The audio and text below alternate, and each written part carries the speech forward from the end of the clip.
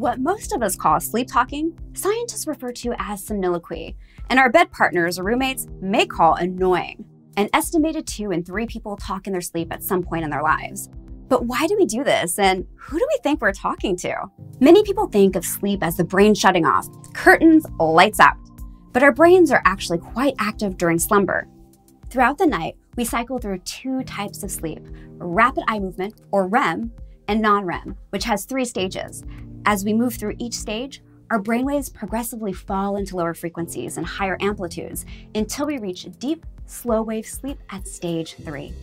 Sleep talk can happen at any point during what scientists call transitory arousal, which is when a sleeper becomes half awake while transitioning from one stage to the next. Interestingly, the quality of our speech here decreases as we move closer toward stage three. After stage three, we enter REM sleep.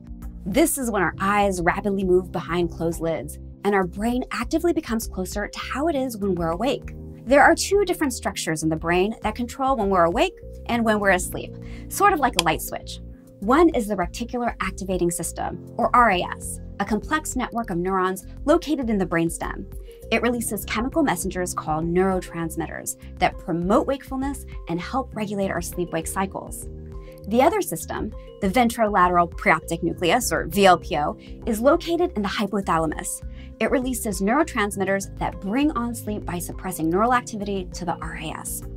During REM, the VLPO structure releases powerful neurotransmitters that work together to inhibit motor neurons and prevent you from acting out your dreams of flying, which ends up being pretty useful because most of our dreams occur during REM sleep, and they're typically more vivid. Any sleep talking that may accompany those dreams is related to the failure of neurotransmitters in the VLPO to fully stop you from moving around.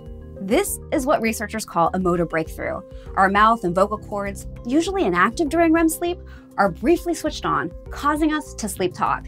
And there's no telling what you might say. Everything from polite conversation to full on monologues have been reported. Sleep talking is also linked to the nervous system being overstimulated by anxiety and stress.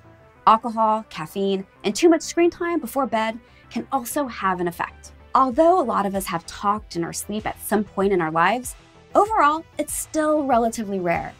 Even frequent sleep talkers may only talk every four nights or so, and it might just consist of only a few words. Up until now, people assumed that talking to someone sleeping was about as productive as speaking to a log. But an international team of researchers is trying to shift this notion by taking an interactive approach to studying sleep. They're using lucid dreaming, a state in which the sleeper is aware they're dreaming, to probe the slumbering mind. So far, they found that lucid dreamers can be trained to do simple math, answer yes or no questions, and even tell the difference between sensory stimuli, all while in REM sleep. Perhaps one day, researchers will be able to hear about our dreams directly from our nocturnal chit chat. We could ask people questions while they're dreaming, coach them through nightmares, and be inspired by the wild surrealism of the dream world. Now, that's what I call pillow talk. Sleep experts say that a routine before bed can help you get a night of uninterrupted sleep.